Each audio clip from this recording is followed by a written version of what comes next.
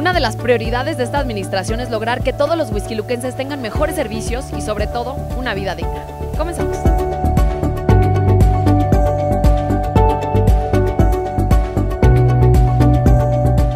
Trabajo en conjunto de todas las áreas de este gobierno hace que las necesidades de la gente puedan ser resueltas.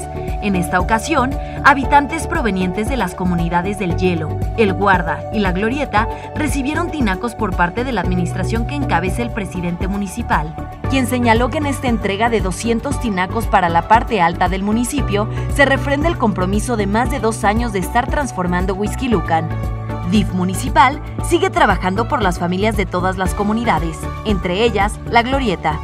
Reunimos todos estos tinacos y los trajimos aquí, ya que eh, las autoridades auxiliares nos han hecho saber la falta que hacen estos tinacos en esta parte de la glorieta, que la tenemos muy presente y como todos ustedes saben, ya viene la estancia infantil a esta zona de la glorieta.